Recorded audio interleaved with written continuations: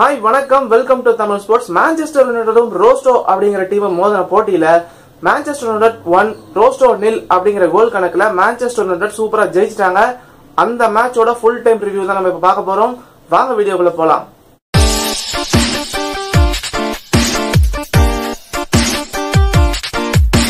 மேன்செஸ்டரோட ஃபார்மை பார்த்தோம்னா கடந்த அஞ்சு மேட்ச்ல ரெண்டு மேட்ச் ஜெயிச்சிருக்காங்க ரெண்டு மேட்ச் டிரா பண்ணிருக்காங்க ஒரு மேட்ச் தோத்து போயிருக்காங்க. இன்னொரு பக்கம் ரோஸ்டோட ஃபார்ம் பார்த்தோம்னா கடந்த அஞ்சு மேட்ச்ல ரெண்டு மேட்ச் ஜெயிச்சிருக்காங்க மூணு மேட்ச் டிரா பண்ணிருக்காங்க. மான்செஸ்டரோட பொறுத்த வரைக்கும் அவங்க ஹோம்ல நடந்த யூரோப்பியன் மேட்சஸ்ல ரஷ்யன் டீம் கிட்ட தோத்தது இல்ல அப்படின்னு ஒரு ரெக்கார்டை வச்சிருக்காங்க. இதுக்கு முன்னாடி முதல்ல நாலு மேட்ச்ல மூணு மேட்ச் டிரா பண்ணிருக்காங்க ஒரு மேட்ச் ஜெயிச்சிருக்காங்க. சோ இது வரைக்கும் தோத்தது இல்ல அப்படிங்கறதே ஒரு பெரிய விஷயமா கருதப்படுது. இதுக்கு முன்னாடி இருபத்தாறு தடவை வந்து ரஷ்யன் டீம்ஸ்லாம் வந்து இங்கிலீஷ் சாயல்ஸ்ல வந்து விளையாடிருக்காங்க. பட் ரெண்டு தடவை தான் அவங்களால ஜெயிக்க முடிஞ்சது. எஃப்சி ரோஸ்டோவை பொறுத்த வரைக்கும் இப்பதான் ஃபர்ஸ்ட் டைம் அவங்க வந்து ஒரு இங்கிலீஷ் சாயில்ல வந்து ஒரு யூரோப்பியன் கேம் விளையாட போறாங்க. சோ அவங்களுக்கு இந்த மேட்சை ஜெயிக்கிறது எவ்வளவு இம்பார்ட்டன்ட் அப்படின்னு நம்ம சொல்ல வேண்டியதில்லை. சோ அவங்க ஜெயிக்க வேண்டிய கட்டாயத்துல இருக்கிறதுனால அவங்களுக்கு ரொம்பவே பிரஷர் அதிகமா தான் இருந்தது. மான்செஸ்டர் யுனைடெட் பொறுத்த வரைக்கும் யூரோப்பியன் கேம்ஸ்ல பதினஞ்சு கேமா வந்து அன்பீட்டன் ஸ்டீக்கை மெயின்டைன் பண்ணிட்டு இருக்காங்க. சோ அந்த ஸ்டீக்கை எப்படியாவது ரோஸ்டோ உழைப்பாங்களா அப்படிங்கிறது தான் ரோஸ்டோட ஃபேன்ஸோட எதிர்பார்ப்பாவே இருக்கு. இன்னொரு பக்கம் ரோஸ்டோவை பார்த்தோம்னா யூரோப்பியன் காம்படிஷன்ல பதினாலு மேட்ச்ல வெறும் மூணே மூணு மேட்ச் மட்டும் தான் தோத்துருக்காங்க. சோ இந்த மேட்சை வந்து எப்படியாவது ஜெயிச்சிடலாம் அப்படிங்கிற தன்னம்பிக்கையில தான் அவங்க மொத்த டீமுமே வந்து இங்கிலாந்துக்குள்ள வந்திருக்காங்க. மான்செஸ்டர் யுனைடெட் பொறுத்த வரைக்கும் ஹென்ரிக் மிகிதாரியன் அப்படிங்கிற பிளேயர் வந்து மூணு யூரோப்பியன் கேம்ஸ்ல வந்து கோல் அடிச்சு ஒரு வந்து ரெக்கார்ட் பண்ணியிருக்காரு. பட் இவருக்கு முன்னாடி மான்செஸ்டர் யுனைடெட் யார் வந்து இந்த அளவுக்கு கோல் அடிச்சிருக்காங்க அப்படின்னு பார்த்தோம்னா ரூட் வேன் நில்ஸ்ராய் ஃபார்வர்டு ஒரு காலத்துல அவருக்கு ஒரு பெரிய லிஜெண்டாவே கருதப்பட்டாரு. அவர் ஒன்பது யூரோப்பியன் மேட்சஸ்ல வந்து தொடர்ந்து வந்து கோல் அடிச்சு ஒரு ரெக்கார்ட் பண்ணிருக்காரு. மிக்கிதாரியன் அந்த ரெக்கார்டை வந்து உடைப்பாரா அப்படின்னு நம்ம பொறுத்திருந்து தான் பார்க்கணும். இப்ப மேன்செஸ்டர் யுனைடோட லைனப்ஸ் பார்த்தலாம் டேவிட் டெஹே அப்படிங்கிற பிளேயருக்கு வந்து ரெஸ்ட் கொடுத்துட்டு அந்த இடத்துல அர்ஜென்டினாவோட நம்பர் ஒன் கோல் கீப்பரான ரொமேரோவை உள்ள கொண்டு வந்திருந்தாங்க. மாலிங் ரோஹோ பெய் இவங்க மூணு பேருமே பேக் த்ரீயை பாத்துக்கிறாங்க டெய்லி பிளண்ட் ஆண்டனியோ வலன்சியா ரெண்டு பேருமே விங் சைட்ல இருந்தாங்க. பவுல் போக்பா ஹாண்ட்ரே ஹெரேரா ரெண்டு பேருமே வந்து மிட்ஃபீல்ட்ல இருந்தாங்க. யுவான் மாட்டா ஹென்ரிக் மிக்கி தாரியன் இவங்க ரெண்டு பேருமே வந்து அட்டாக்கிங் மிட்ஃபீல்ட்ல இருந்தாங்க. ஜாட்டான் ஹிப்ரோமேஜ் ஃபார்வர்ட் பொசிஷன்ல இருந்தாரு. த்ரீ சிக்ஸ் ஒன் அப்படிங்கிற ஒரு புதுசான ஒரு ஃபார்மேஷன் வந்து இன்னைக்கு யோசனை முறை வந்து மேன்செஸ்டர் யுனைடெட் ட்ரை பண்ணிருக்காரு அவரோட ஸ்டார் பிளேயரான ரூனி மார்ஷியல் இவங்களுக்குலாம் அடிபட்ட காரணத்தினால ரெண்டு மூணு மேட்சாக விளையாடாம இருக்காங்க. அவங்கெல்லாம் இல்லாதது ஒரு பெரும் இழப்பு அப்படின்னு தான் சொல்லணும். யுனைடெட பொறுத்த வரைக்கும் ஸ்லாட்டான் ஹிப்ரோமிச்சும் யுவான் மாட்டாவும் சரியா விளையாடினாலே போதும். பவுல் போக்பா சரியான இடத்துல பாஸ் பண்ணியிருந்தாலே போதும். இந்த மேட்ச் அவங்க ஈஸியா ஜெயிக்கிறதுக்கான வாய்ப்பு நிறையவே இருந்தது. இப்ப எஃப்சி ரோஸ்டோட லைனப்ஸை பார்த்துடலாம். மெட்வே வந்து கோல் கீப்பரா இருக்காரு. குர்ச்சியா ஷாவ் சீசர் நவாஸ் நெர்ஜியா இவங்க மூணு பேருமே வந்து பேக் த்ரீயை பாத்துக்கிறாங்க டேலஞ்சேவ் பிரம்மையன் ரெண்டு பேருமே வந்து விங் பொசிஷன்ல இருக்காங்க. நோபா பெருப்டியா இரோக்கின் இவங்க மூணு பேருமே வந்து மிட்ஃபீல்ட்ல இருக்காங்க. போலஸ் அஸ்வான் இவங்க ரெண்டு பேருமே ஃபார்வர்ட் பொசிஷன்ல இருக்காங்க. ஃபைவ் த்ரீ டூ அப்படிங்கிற ஒரு அற்புதமான ஃபார்மேஷன் தான் இன்னைக்கு வந்து ரோஸ்டோட மேனேஜர் இவங்களுக்காக செட் பண்ணி கொடுத்திருக்காரு. எப்படியாவது மேன்செஸ்டர் யுனைட்டோட அட்டாக்க தடுக்கிற விதமாகவும் இவங்களால முடிஞ்ச அளவுக்கு கவுண்டர் அட்டாக் கொடுக்கற விதமாகவும் தான் ஒரு அற்புதமான டீமை வந்து அவர் செட் பண்ணி கொடுத்திருக்காரு.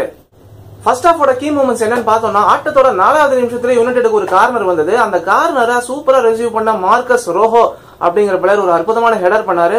பட் ஆப்போனன்ட் டீமோட கோல் கீப்பர் அதை அற்புதமா தடுத்ததுனால மான்செஸ்டர் யுனைடெட்க்கு கோல் கிடைக்கல. ஆட்டத்தோட ஒன்பதாவது நிமிஷத்துல மான்செஸ்டர் யுனைடெட்க்கு ஒரு ஃப்ரீ கிக் கிடைச்சது ஜிலாட்டான் ஹிப்ரோமிச் அப்படிங்கிற பிளேயர் வந்து அற்புதமா அந்த ஷாட் அடிச்சாரு. பட் துரதிருஷ்டவசமாக ஆப்போனன்ட் டீமோட வால்ல அந்த பால் பட்டதுனால கோல் கிடைக்கல. இப்படியே போயிட்டு இருந்த மேட்ச்ல பால் பொசிஷனை நல்லாவே மெயின்டைன் பண்ண மான்செஸ்டர் யுனைடெட்க்கு ஒரு அற்புதமான கவுண்டர் அட்டாக் வந்து மாட்டை ஏற்படுத்தி கொடுத்தாரு. அவர் கொடுத்த பால அற்புதமா ரிசீவ் பண்ண ஸ்லாட்டான் பாலை எடுத்துட்டு போய் கோல் அடிக்க முயற்சி செய்யும் போது கோல் கீப்பர் கொஞ்சம் கோலை விட்டு வெளியே வந்தாரு. பட் ஸ்லாட்டான் எவ்வளவோ ட்ரை பண்ணியும் இந்த தடவையும் அவங்களுக்கு கோல் கிடைக்கல.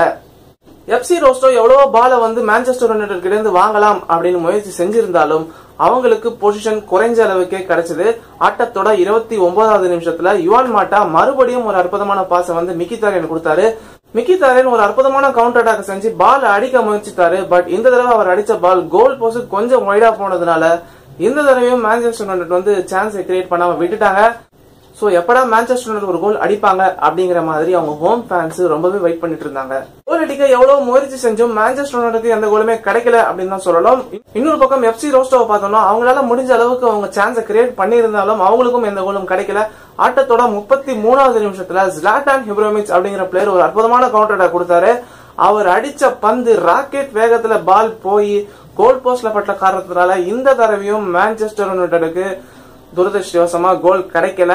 சோ மான்செஸ்டர் யுனைடெட் ஃபேன்ஸ் இன்னும் கொஞ்ச நேரம் வெயிட் பண்ணி தான் ஆக வேண்டிய கட்டாயத்துக்கு தள்ளப்பட்டாங்க. முதல் பாதியில மான்செஸ்டர் யுனைடெட் நிறைய சான்ஸை கிரியேட் பண்ணது ஒரு பாசிட்டிவ் சைன் அப்படின்னு தான் சொல்லணும். இன்னொரு பக்கம் ரோஸ்டோ அவங்களால முடிஞ்ச அளவுக்கு கவுண்டர் அட்டாக் கொடுத்திருந்தாலும் மேன்செஸ்டரோட டிஃபென்ஸ் எதிர்க்க அவங்களால எதுவுமே செய்ய முடியல. செகண்ட் ஹாஃப்லயாவது எப்படியாவது கோல் அடிச்சு அவங்க டீமை ஜெயிக்க வைக்கணும் அப்படிங்கிற கட்டாயத்துல அவங்க பிளேயர்ஸ் தள்ளப்பட்டாங்க. இன்னொரு பக்கம் Manchester United goal chance create பண்ணியிருந்தாலும் கோல் கிடைக்காதது அவங்க ஃபேன்ஸ் மத்தியில கொஞ்சம் வருத்தத்தை உண்டாக்கி இருக்கு ஃபர்ஸ்ட் ஆஃப் முடிவுல Manchester United nil Rostov nil அக்ரிகேட்டை பார்த்தோம்னா Manchester United one Rostov one second ஹாஃபோட ஆரம்பத்திலேயே மேன்செஸ்டர் யுனைடெடுக்கு ஒரு பெரிய அடி அப்படின்னு தான் சொல்லணும். அவங்களுடைய ஸ்டார் பிளேயரான பவுல் போக்பாக்கு அடிபட்ட காரணத்தினால அவரை எடுத்துட்டு அந்த இடத்துல ஃபெலைனி அப்படிங்கிற பிளேயரை உள்ள கொண்டு வந்தாங்க. ஆல்ரெடி ரூனி மார்ஷலுக்கு அடிபட்ட காரணத்தினால யுனைடெட் ரொம்பவே தத்தளிச்சிட்டு இருக்காங்க. இப்ப பவுல் போக்பாக்கும் அடிபட்டுடுச்சு அப்படின்ற நியூஸ் கேட்ட உடனே எல்லா மேன்செஸ்டர் ஃபேன்ஸுமே ரொம்பவே ஷாக் ஆயிட்டாங்க. எஃப்சி ரோஸ்டோ ஆட்டத்தோட ஐம்பத்தி மூணாவது நிமிஷத்துல ஒரு சூப்பரான கவுண்டரை கொடுத்து லெஃப்ட் ஃபுட்ல அருமையான ஷாட் அடிச்சாங்க.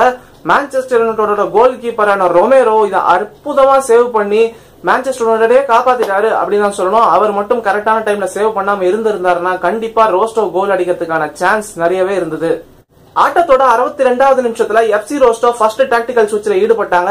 அவங்களுடைய பிளேயரான அசமோன் அப்படிங்கிற பிளேயரை எடுத்துட்டு ஃபர்ஸ்ட் லெக்ல கோல் அடிச்ச அலெக்சாண்டர் அப்படிங்கிற பிளேயரை உள்ள கொண்டு வந்தாங்க. இந்த டாக்டிக்கல் சேஞ்ச் மூலமாவது தங்கள் டீமுக்கு ஒரு கோல் கிடைக்கும் அப்படிங்கிற நம்பிக்கையில தான் அவங்க மேனேஜர் எப்படி ஒரு சேஞ்ச்ல ஈடுபட்டிருந்தாரு. பட் மான்செஸ்டர் யுனைடெட் கூட கோல் அடிக்கிறதுன்றது சாதாரணமான விஷயம் இல்ல. ஆட்டத்தோட அறுபத்தி நாலாவது நிமிஷத்துல மான்செஸ்டர் யுனைடெடுக்கு இன்னொரு பெரிய அடி அப்படின்னு தான் சொல்லணும். இந்த தடவை டெய்லி பிளிண்ட் அப்படிங்கிற பிளேயருக்கு இன்ஜுரி ஏற்பட்ட காரணத்தினால அவரை எடுத்துட்டு அந்த இடத்துல பில் ஜோன்ஸ் அப்படிங்கிற பிளேயரை போட்டாங்க. ஆல்ரெடி யுனைடெட்ல ஒரு ரெண்டு மூணு பேருக்கு வந்து அடிபட்ட காரணத்தினால அவங்க வந்து விளையாடாமலே இருக்காங்க. இப்ப டெய்லி பிளின் போக்பா அப்படிங்கிற ரெண்டு பிளேயருக்கு வந்து இந்த மேட்ச்ல அடிபட்டு போச்சு. ஸோ மேன்செஸ்டர் யுனைடட் வர ஞாயிற்றுக்கிழமை பிரீமியர் லீக்ல எப்படி விளையாட போறாங்க அப்படின்னு தெரியல.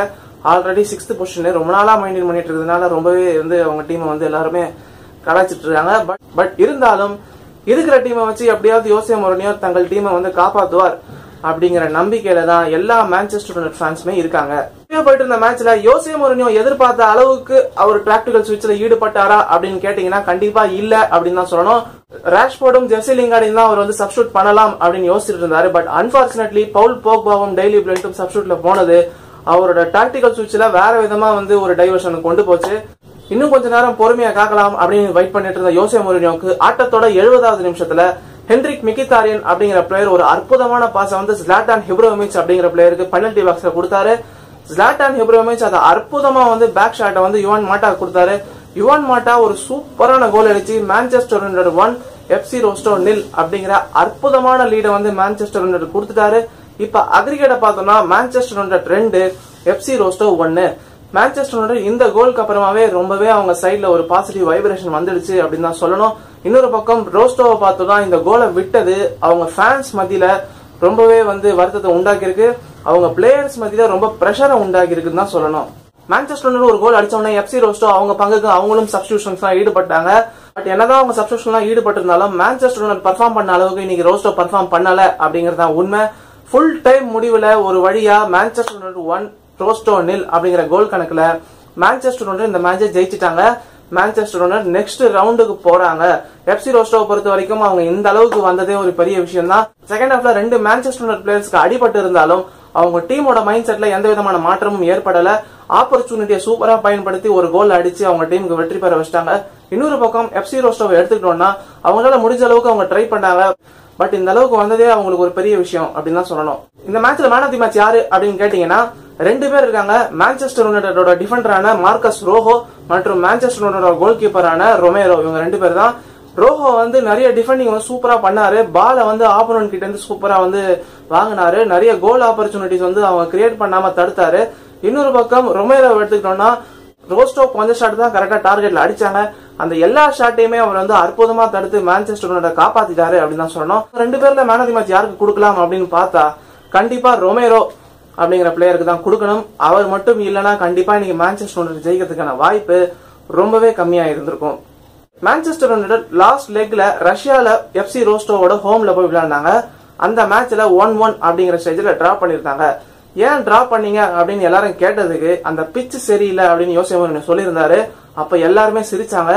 பட் எஃப்ஏ ஃபுட்பால் அசோசியேஷன்ல இருந்து வந்து அந்த பிச்சை போய் இன்ஸ்பெக்ட் பண்ண போனாங்க. அந்த பிச் ஃபுட்பால் ஆடுறதுக்கு தகுதியே இல்லை அப்படின்னு வந்து ஒரு சர்டிபிகேட் கொடுத்து அந்த ஹோம் கிரவுண்டே இப்ப வந்து பேன் பண்ணிட்டாங்க. வேற எந்த மேட்சுமே இப்ப அங்க நடக்க போறது இல்ல அப்படின்னு சொல்லிட்டாங்க. ரஷ்யன் ஃபுட்பால் சைட்ஸ் எல்லாம் பார்த்தோம்னா அவங்களோட பிச்சில இருந்து அவங்களோட பர்ஃபார்மன்ஸ்ல இருந்து அவங்களோட கோச்ல இருந்து இன்னும் கொஞ்சம் டெவலப் பண்ண வேண்டிய ஸ்டேஜ்ல இருக்காங்க. அவங்க டெவலப் பண்ணாதான் இன்னும் ஃபியூச்சர்ல வந்து மேற்கொண்டு பெரிய லெவல்ஸ்க்கு வந்து ரீச் பண்ண முடியும். இங்கிலீஷ் ஃபுட்பால் லெவலுக்கு வந்து அவங்க இன்னும் வரத்துக்கு நிறைய வருஷம் ஆகும் அப்படிங்கறத என்னோட நம்பிக்கை.